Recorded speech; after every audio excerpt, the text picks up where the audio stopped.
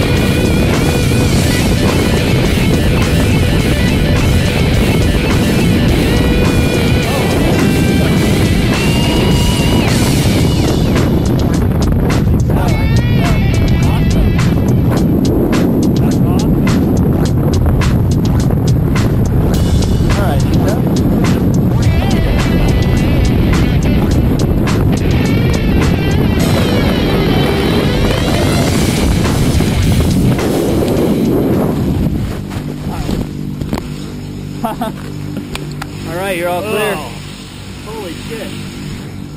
Wes, yeah. what'd you think of skydiving, man? That was awesome. Nice job, bro.